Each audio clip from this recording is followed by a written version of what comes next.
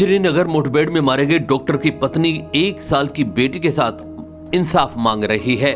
उसने कहा कि पति आतंकी था तो सबूत दो। श्रीनगर में 15 नवंबर की शाम को हुए एनकाउंटर में चार लोगों की मौत हो गई। मारे जाने वाले लोगों में एक का नाम डॉक्टर मुदस्सिर गुल था। पुलिस के मुताबिक डॉक्टर गुल आतंकवादियों के लिए ओवरग्राउंड वर्कर का काम कर रहा था, लेकिन गुल की फैमिली इस बात को नकार रही है। हालाँकि जम्मू कश्मीर के उप राज्यपाल मनोज सिन्हा ने अब इस एनकाउंटर की जाँच के आदेश दे दिए हैं। उन्होंने कहा कि किसी के साथ नाइंसाफी नहीं की जाएगी। एनकाउंटर के विरोध में श्रीनगर की प्रेस कॉलोनी में दो दिन से डॉक्टर गुल की फैमिली और दूसरे कश्मीरी प्रदर्शन कर रहे हैं।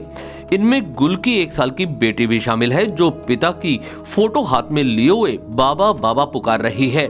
उसे नहीं पता कि उस पर क्या मुसीबत टूटी है। एनकाउंटर के बाद ही पुलिस ने डॉक्टर गुल समेत सभी आतंकियों की बॉडी दफना दी थी। प्रदर्शनकारियों में शामिल डेंटिस्ट डॉक्टर गुल की पत्नी हुमेरा की आँखों के आँसू सूखने का नाम नहीं ले रहे।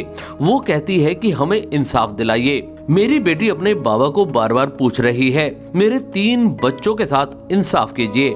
वह आतंकवादी नहीं थे। अगर वे आतंकवादी थे तो हमें सबूत दिखाइए। हमें उनकी बॉडी चाहिए, ताकि मैं और मेरे बच्चे उनका चेहरा देख सकें।